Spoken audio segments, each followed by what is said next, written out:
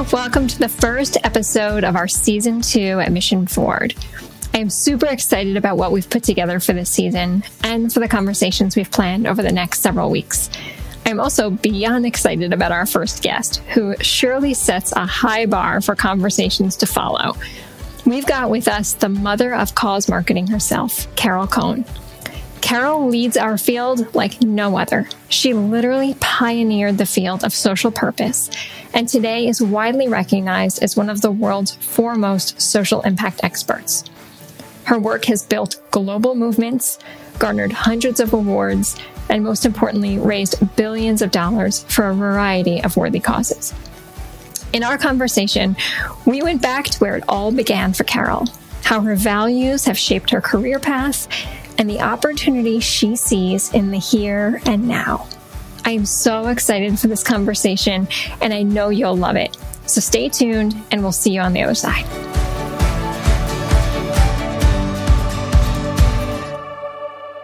Carol, as we start in first episode of our second season here at Mission Forward, I want to check in first with you and ask where are you today? Oh, I'm in Wellington, Florida which is about 20 miles west of Palm Beach. And so occasionally, when I used to fly a year ago, I could land on the tarmac at West Palm Beach and see Air Force One, mm. but not much longer. That's right. That's right. Well, that's actually the last, the very last trip I took before all of this happened. Is we went to uh, West Palm Beach for spring training, and uh, oh, we hold that memory that. in our mind because that was Absolutely. the last place that we went. Yeah, he loves baseball. Yeah. All right. So I told you a little bit about what we're um, talking about, but this season's topic is centered on this concept of pressing forward. And I've got to imagine you you have experienced this feeling before. It's this idea that as much as we've got to do, right, we can only control so much. And so we are pressing, pressing, but there are always going to be barriers in our way. And I've been thinking a lot about you as I've been thinking about this, that you have this remarkable job working with causes and organizations pressing their missions forward, just as you're pressing your own mission forward. But none of it is easy in this global pandemic and disruption that we are living in. So, in this year that was 2020, right, no matter what we set out to do, it likely did not turn out the way we had envisioned. So, I'm curious what's sticking with you from 2021 or 2020 as you think back to what you were trying to press forward. How'd it go? Did you did you do what you were hoping to do or is is that now starting to um, be part of what your 2021 is going to be? 2020 when the pandemic lockdown hit. Everybody was concerned about what would happen to their selves their families their communities and then their businesses. And um, we had three amazing not-for-profits at the time and two of them were very event based and so they basically just had to cut any external uh, resources, which was sad. But the other one had to press forward because that was Points of Light. And Points of Light truly is about bringing out the community, the service, and all of us. And so we continue to do some amazing work with them, including a, a major national study um, to truly determine, um, you know, what are the opportunities and barriers to service and new descriptions and types of service. And so we got through that. So that was exciting. But once we got to May or June, all of a sudden, as companies realized that they had to service their employees first, second, and third, then they took their core competencies and they did something that I labeled generous, um, smart generosity and they took their competencies such as P&G and they took a lot of their plants and they started making PPE. And they also had had a history of 200 external not-for-profit relationships. So it was easy to, to work with them to get important PPE and other things to local markets. And so we started seeing companies looking that, okay, we're going to survive but how can we continue to press forward to your point? And all of a sudden we got really busy. It's so interesting. It, truly is, right? In the face of crisis comes innovation. And I think we saw that so much last year. And I'm curious if there are any specific examples that are sticking with you on that point. The world is so interconnected. You know, the, the hubris of the United States. Oh, it's only in Seattle. We have it contained, of course, led by, you know, some large voices. And then as it rippled, it just, it just really went across the country, East Coast, West Coast. And then the Midwest said, oh no, we're not going to get it. And then they had all the events that were unmasked and not social distance. And then the Midwest got hammered. And then rural, rural America got hammered. And so we realized, you know, the, the, the, the analog that, you know, if a butterfly flaps its wings in China, that you have a tsunami someplace else, or however that is stated. Mm-hmm. So the interconnectedness, and then a lot of our clients are just saying, let's press forward to make sure that we are going to be helping our communities in the ways that we can. So um, it's it's had a dramatic impact on our work. It was interesting when when the pandemic first hit for us. Everything for a little bit slowed down and then immediately yeah. kicked back in. Same right. Thing. So we were in crisis comms for a while. And then branding projects, strategic planning projects for a while, those were really on hold, right? Folks were unsure if they should be thinking about what their strategic plan is because they didn't know what the future was going to hold. But what are you starting to see now in terms of where the demand is coming, where the need is coming? Um, where do you see people wanting to put their resources? Well, I think that they they want to take their resources that were likely scattershot because we're in the middle of the bell curve of companies either discovering their purpose, like why do I exist, and we do that work. And one of our clients said it was like t- Cone took us as a journey to the center of our soul. So that's purpose work because you truly have to understand the heritage, the values, the competencies, the competitive set, and it's amazing work. And so we love doing that work. We also do social purpose, which we're known for, which I've done for over 35 years. And companies all of a sudden felt we need to do a lot more. And then, so how, and they came to us and how can we strategize to do something that is authentic? Mm-hmm. and employee engaging and long term and not really understanding best practice. And so um, we got this business either sole source, our clients would go other places or just a recommendation. We don't do a lot of pitches. We did one highly competitive pitch for an amazing Fortune 100, and we didn't even know there were eight other firms. But I decided I wanted this company so much because they're an iconic American company that I fielded because our model we have, you know, partners at the center, very flat model, but then we can expand with either senior consultants who are experts that I have known for decades or members of the Purpose Collaborative, where you're mm-hmm. a member of the Purpose Collaborative. And we fielded a team and I knew it, it was the all star team. And we were the last to present and we had one hour and at the end of it, they said, thank you very much. They were very engaged. And then I kind of got up from my seat and I went into my, you know, uh, living room and I went, yes, you know, I knew we nailed it. And they called the next day and said, we'd love to work with you. Oh, so wow. that, so that was really great. Cause again, the pandemic has allowed in not traveling, you can do a lot more and work will change. Work from home is accepted. And one, it saves money in terms of real estate for companies. It saves tremendous wear and tear on the travel. But then we can expand without real question. Oh, you're using somebody in San Diego. You're using somebody in, you know, um, in, in Paris. It, it, doesn't really matter as long as it's seamless to the client. Mm-hmm. Yeah. Yeah. I want to stick on purpose for another minute because you have had an amazing career and you have had an amazing influence um, on purpose, on how we think about purpose, on how companies deploy their purpose.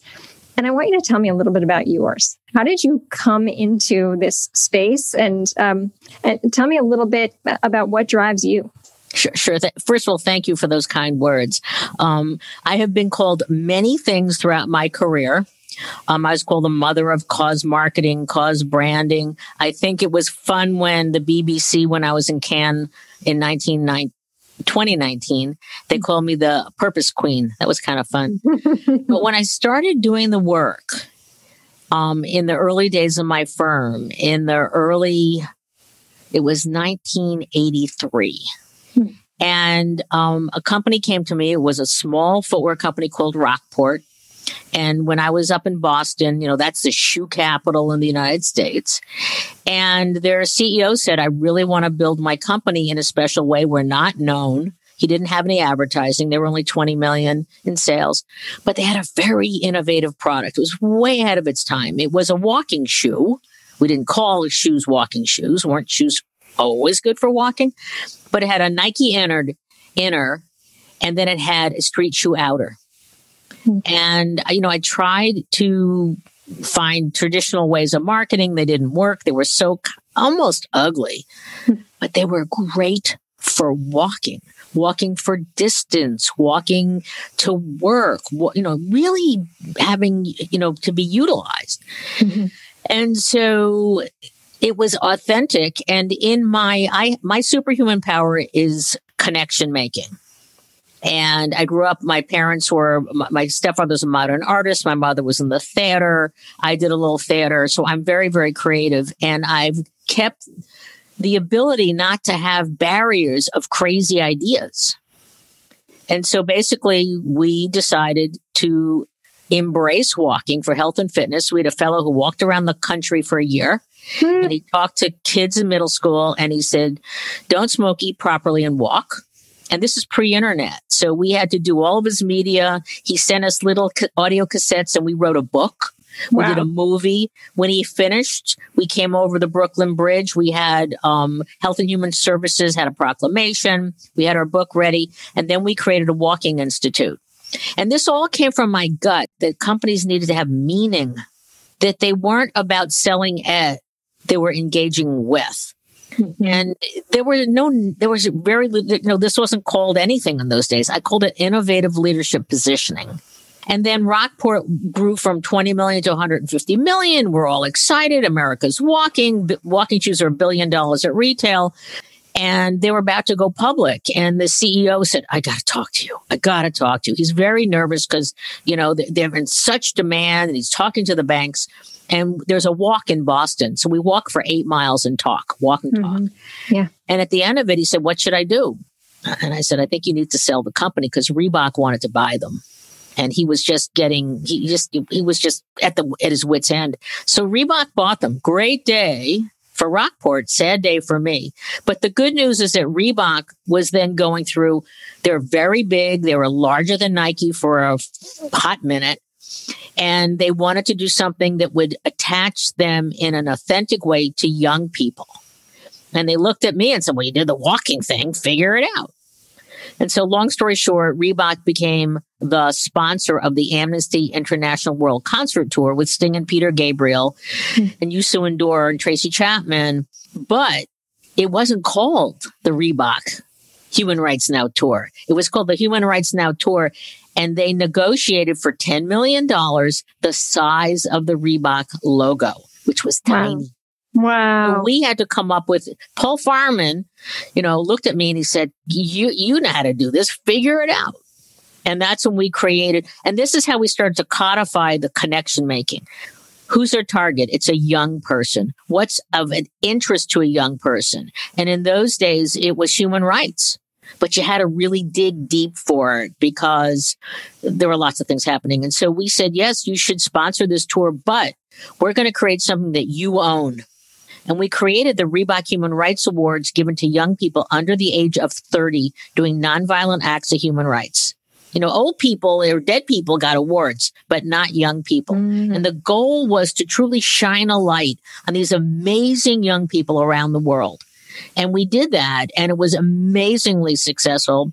And um, Sting and Peter Gabriel, because they loved human rights, they just felt in alignment with Reebok. It was no longer a sponsorship; it was a partnership, yeah. partnership around aligned values you are so brilliant. I mean, you you say, uh, you know, people say to you, just figure it out. And how many of us in our careers have had people say that to us, just figure it out. But you, you have this ingenuity and this creativity Thank that's you. just unmatched. So, but I will tell, but I have to tell you, it, it's yeah. not just me. I mean, some of my ideas have just been me, like the Aflac robot, my special Aflac duck, mm-hmm. um, which we created was my idea. I mean, I had that that eureka moment where I was talking to a friend who made social robots for kids with illness. And then he said, well, what are you doing? Who are you pitching? Well, we're, we're pitching Aflac and boom over my head, this giant lightning bolt. It just blew up. And I, in my mind, I said, I'm going to make a robot in a duck shape for Aflac to help kids with pediatric cancer. And, and so, but I would say that most of our great ideas were developed by a team because mm. great ideas come from anywhere. And, and we were very fortunate when I was the cone of cone in the mm-hmm. 80s and the 90s mm-hmm. before I sold to Omnicom. We represented a group in, in Cambridge called Synectics. And they were, I don't know if you ever heard of George Prince, who was the founder of that. They were the founders of creativity. Mm-hmm. And we got to go through their systems to learn how to recognize that little teeny tiny insight, that brilliant gem of an idea and, and how you don't just diss it away. Right. And so that was really, really helpful. So I would say I've had great ideas, but in terms of building Cone and now Carol Cone on Purpose, and even at Edelman, you have to surround yourself with really great people and you got to trust them and let them go. Yeah, it's true. I started my career working with the X Prize and Peter Diamandis, who founded the X Prize, he used to say, you know, today's brilliant idea was yesterday's crazy idea. You just got to exactly. believe in the idea, right? You've got to believe right. it and bring it forward. Right. Um, Absolutely. So so I'm going to switch topics and bring us present day for a minute. So you just helped to pull a list of insights together um, for Fast Company on 2021, and I was so glad to be part of that with you. Thank but you. you. have been sharing insights with uh, with quite a few folks recently on what you see coming up for Purpose in 2021, and I'm curious if there are a few that that resonate and stick out um, that you want to share with us today.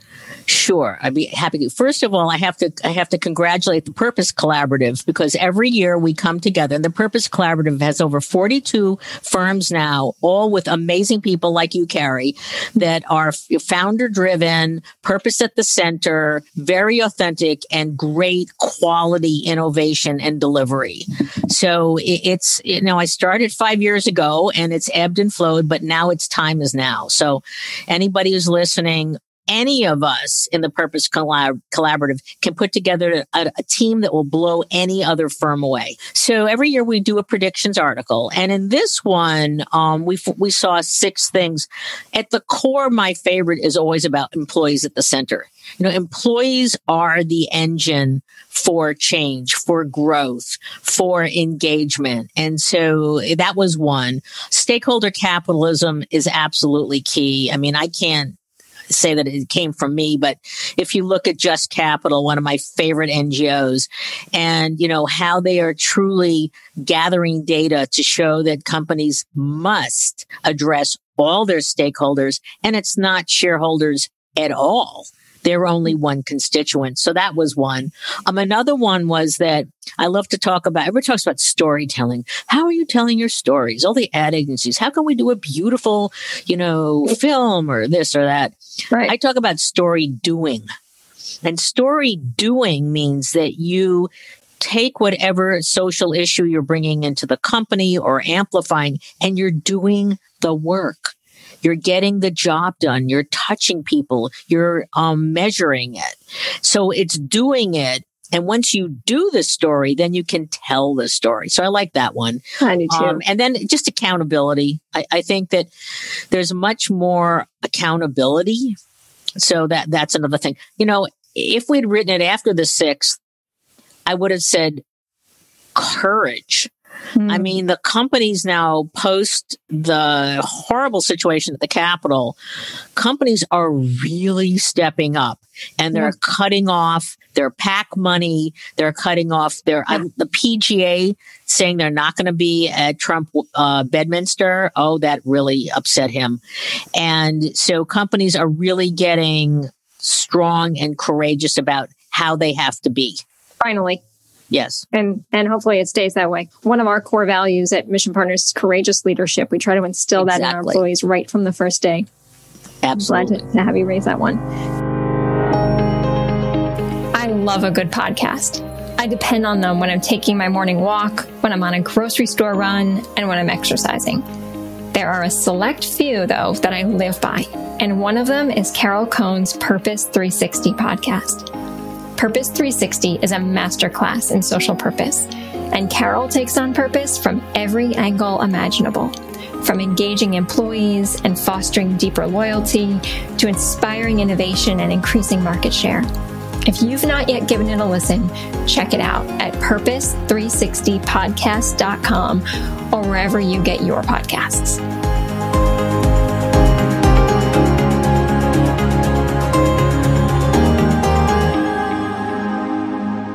Want us to maybe come back to where we started, right? So, for all the challenges we talked about, there are certainly innovations too. But I'm curious if anything has stuck with you from this last year. Any great innovation, any aha, and how you do your work.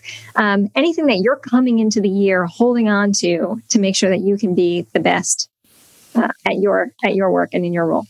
I th- well, we've always been um, distributed. You know, we we work from home anywhere, so it wasn't new for us. But because so many others, and it's becoming the way to do work, so that you can. And unfortunately, work and then life just to- get totally blended. So you've got to set up some boundaries.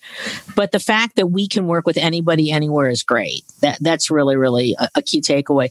I think the kind of work we have a client we just got that is going to um, help to close health disparities in um, really underserved, poor um, health deserts in DC and Atlanta and Detroit and New York, um, Newark, and I think I've forgotten one, but they're going to be doing testing for COVID. And this is totally what they have been doing, but they're going to expand it more. They're going to be doing hundreds of testing events to reach thousands and thousands of people who just were left behind. And I think that the gross inequities that we saw um, to people of color and to essential workers, um, I, I truly believe it has indelibly linked into our brains that we must act mm-hmm. going forward. So uh, that's something that I'm I'm so pleased that companies are rising to the challenge and that they want to do more. And it's they understand, and I always have to tell them it's okay that you're making money in your business because you need to make a profit to do more in society. It is a you know a powerful positive you know cycle of goodness. So that's good. There's one thing though I do you you also want to ask about is there something that inspires me or yes. wants to happen? Yeah. My special Aflac duck, which we created in 2017 and 18 for Aflac, they have the everybody knows the Aflac duck. You know, he's very funny and he's almost known by 100% in this country. And he goes, Aflac. Mm-hmm. But they don't know that they donated 125 plus million to pediatric cancer. They're very quiet about it. And we were asked to somehow bridge the gap. Long story short, I had that eureka moment and we decided we'd create a social robot in the shape of a duck, but the duck was designed by children. It was, you know, 11 inches tall, soft, roundy moundy. It purred. Kids want ducks to purr. I don't know. But it also has emojis and ways that a three or four or five or six year old can communicate to a nurse or a doctor when they're really not feeling good. They go mm-hmm. through a thousand days of treatments. So it, it, it, was wildly successful. You know, it was best in show at CES. There's over 10,000 distributed for free through hospitals to children with cancer. And, and when you do something like that, so it won a Cannes, it won Time Magazine, it won Best of Show at South by. When you do that, you want to do more hmm. because it's creation. It's making sure it gets to market. It's teaching our client that they could truly go so far beyond what they had ever dreamed. I want to do that. So here's my ask of your listeners. All right. I want to do that in the field of autism. I know it's a very wide spectrum. And I think I think for children in the middle or early spectrum, that we could work with our partner, Sproutel, a terrific young company in, in Providence, Rhode Island, Aaron Horowitz, and cr- do, we know, for the Aflac Duck spent a year, you know, Aaron spent a year understanding what the children's needs were. And I think that it would be harder in autism, but I believe we could create a social robot. I don't know the shape. It's not going to be a duck, but it could be some new, you know, new idea, new shape, but it could help a child to communicate. Mm-hmm. and to be better engaged. And I think that uh, children with autism are brilliant, but they need help. And mm-hmm. so anybody, the challenge is though, there's no company that does a pharmaceutical for autism. It's really leans into the philanthropic philanthropic right. side. Right. So I, I'm sorry, but anybody I meet, I always tell this story to because someday I'm going to find somebody who says, I want to do that. Yeah. Well, I may have a few ideas for you on that front, and I suspect that a few people listening might too. So that would we be will great. we will pool our resources because I Excellent. think that certainly sounds like a great uh, focus with an amazing potential for impact. And I will let you be the co-mother. Wow, I would love it. Absolutely, Carol. Thank you so much for your time today. I wish you well and good health. And um, I will continue to watch you and learn from you as I have for so many years. And the same, it's it's ditto on my end too. So thanks so much for being on your podcast. Mm-hmm. And I also want to say that that I also have a podcast. It's called Purpose 360. It's a little different. Uh, we work, uh, we talk, we interview a lot of guests that are chief communications officers, sustainability officers, authors, pundits, etc. in purpose um, because for my entire career in doing the work, I also had to educate the world why this is strategic. Yeah. So you're well, doing it, we're doing it, and the more that we do it, the more this will become accepted practice for profits and, and not for profits. And congratulations on winning your award from Real Leaders. Thank you. Yeah, that's Thank that's you. really stunning. And you know, you're doing great. Our time is now. We are yeah. teachers, we are guides, and we must truly help our profits, our for our not for profits, our public private partnerships to really leverage their superhuman powers. Yeah, and you know what? Maybe maybe last word on that. You know, I've been thinking a lot about how um, how last year certainly came with its share of difficulties, as will this year. I'm I'm certain we're not out of the woods yet, but purpose Purpose is something that certainly helps us get through. Day to day, I was so glad that I had a purpose. And that on so many levels rings true. So so thank you for continuing to lead with purpose every day. And thank you. And also, I have to tell your listeners that behind your right shoulder is a picture of Ruth Bader Ginsburg, who is one of my heroines. And I was just so struck when she passed away. And I hope she's looking down and saying, I'll help you guys. I'll help you get back to common decency. We'll get there.